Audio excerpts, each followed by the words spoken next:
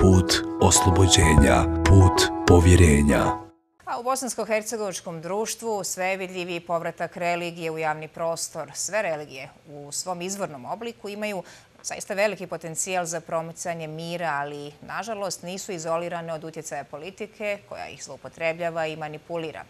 Na koji način se vjerske vođe nastoje oduprijeti ovoj pojavi? Što preovladava borba za moć ili dobar utjecaj na društvo? Priča Armine Sadiković.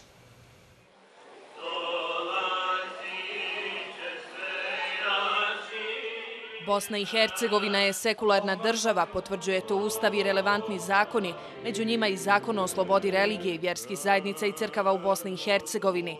Ipak, poslije riječi sekularizam, sve češće stoji znak pitanja. Osnovni razlog za dovođenje u pitanje sekularizacije države može biti uticaj organiziranih religija, smatra istaknuti sociolog Dino Bazović nije svako miješanje, odnosno nije svako djelovanje religije u javnom prostoru negiranje sekularizma. Međutim, s druge strane, kada organizirana religija pokušava djelovati politički, odnosno ucati na političke odluke u užem smislu riječi, onda bi se mogao dovoditi u pitanje karakter sekularne države Bosne i Hercegovine. U BH društvo etničko postaje dominantnije, religiozno nažalost ne, smatra Ahmet Alibašić, profesor na Fakultetu islamskih nauka u Sarajevu. Mislim da se vrlo često na našim, uh, u Bosni i Hercegovini na Balkanu inače miješaju pojmovi etniciteta i religije. Mislim da je zapravo gro problema naših proistječe iz um, pogrešno konstruiranih etničkih ili ako hoćete čak i nacionalnih identiteta koji su zatvoreni, koji su isključivi i religija tu dođe kao pomoćno sredstvo, kao instrument koji im se po potrebi manipulira. A manipulira se u političke pa i u ratne svrhe, potvrđuju to ratovi 90. godina na području bivše Jugoslavije.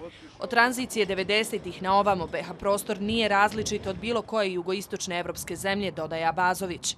Ovdje se prije svega trebamo fokusirati na položaj onih pojedinaca koji u ime organizirane religije pokušavaju utjecati na organiziranu politiku. I u tom smislu bi mogli kazati da religijske zajednice u svakom slučaju žele utjecati na politički sistem Bosne i Hercegovine, pokušavaju jel, da izbore onu poziciju koju smatraju da im je najbitnija, međutim da li je to u najboljem interesu kako njenih vjernika, tako i same organizirane religije također bi se dalo diskutovati. Bliže se oktobarski izbori. Sprega politike i religije u tom periodu je najintenzivnija, ukazuju iz jevrejske zajednice u Bosni i Hercegovini. Prije toga e, ima jedan e, period stagnacije, onda kad dođu izbori, onda se to pojačava, onda povrlo to poslije izbora jenjava. Ali suština je ono što su shvatili, ja pretpostavljam, vjerski lideri, koliko sam ja razgovarao s njima u zadnje vrijeme, da ne trebaju suviše da se miješaju u politiku, da trebaju nju da ostave političarima. Iz katoličke crkve su kategorični. Vjerskim velikodostojnicima nije mjesto na političkim skupovima. Uvijek treba voditi računa da vjerske poglavari i svi službenici imaju jednu finu, normalnu distancu od stranaka. To je sasvim drugačije poimanje. Stranke se bode za vlast, to je normalno, svađe je tako. Dakle, često ne biraju sredstva, a valjda vjerski službenici ne bi mogli stajati isto toga. Iako vjerske zajednice uživaju mnogo više povjerenja od političkih elita, to povjerenje sve se manje pretvara u pozitivan društveni učinak. Nažalost, e, u Bosni i Hercegovini se još nije pojavio, recimo, Desmond Tutu, koji bi e, mogao biti e, moralni autoritet i izvan svoje vjerske zajednice, uz to što je vjerski autoritet unutar svoje zajednice. A upravo je Tutu bio jedan od glavnih vođa i moralna vertikala otpora apartheidu.